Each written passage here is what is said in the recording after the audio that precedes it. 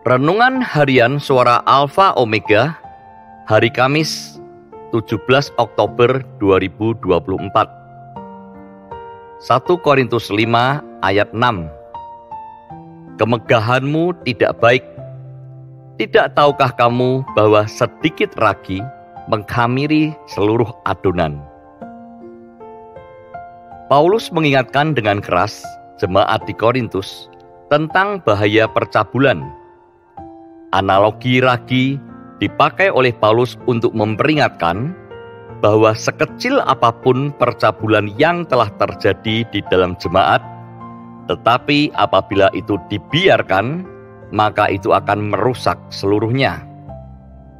Paulus heran dengan sikap jemaat di Korintus yang seharusnya berduka cita atas percabulan yang terjadi, namun sebaliknya mereka justru terkesan mendiamkan dan tidak mengambil tindakan tegas terhadap pelaku.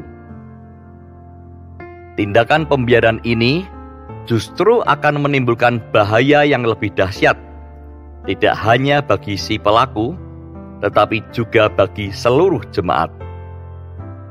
Paulus menegaskan bahwa pendisiplinan yang dilakukan kepada pelaku percabulan adalah untuk kebaikan orang itu sendiri, yaitu agar orang tersebut bertobat dan rohnya diselamatkan pada hari Tuhan.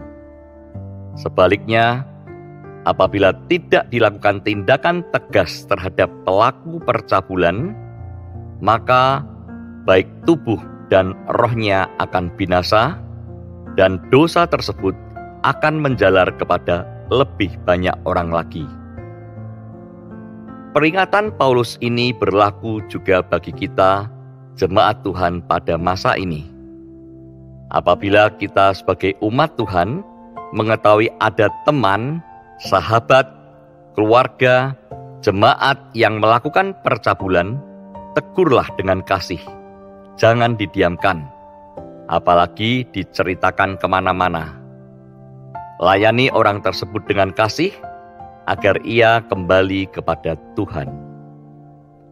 Mari kita berdoa. Tuhan Yesus, kami menyerahkan tubuh, jiwa, dan roh kami ke dalam tangan-Mu. Ampunilah segala dosa kami, dan mampukanlah kami untuk hidup benar di hadapan-Mu. Dalam nama Tuhan Yesus kami berdoa. Amin.